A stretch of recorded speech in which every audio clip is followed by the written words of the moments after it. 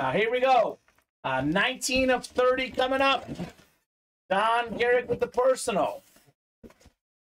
Got the Josh Allen. Darren Morgan.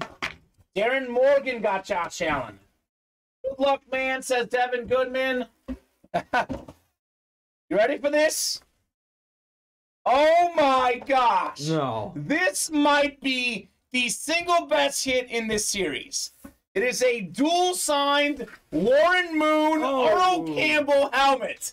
Houston Oiler helmet. Uh, two Hall of Famers. One of the best quarterbacks ever, Warren Moon. Earl Campbell, uh, College Football Hall of Famer, Pro Football Hall of Famer, Heisman Trophy, NFL MVP. Uh, Warren Moon, a Canadian Football League Hall of Famer. That is one of the best hits in this series. Dual signed, Beckett certified, Warren Moon and Earl Campbell on the retro Oiler lid. For how much?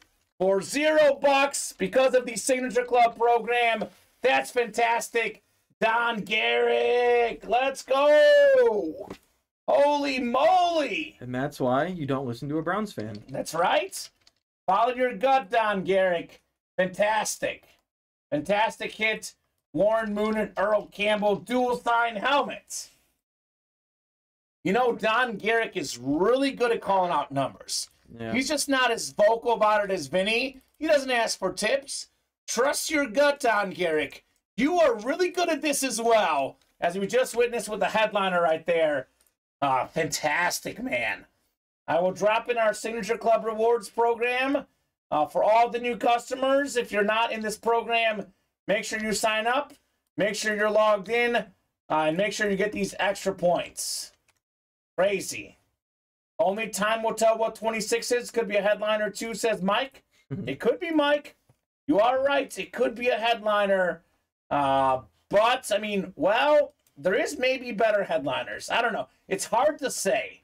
Uh, hard to say. This might be the best headliner, but the Stefon Diggs, the Michael Irvin, uh, those are good too. Yeah.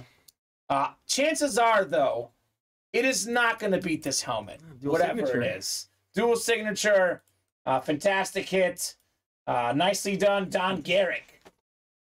Always trust a Browns fan, says Mike. You know what? I trust Mike because he's a dictionary. Yeah. Always Yep. trust the dictionary. That's why I trust him.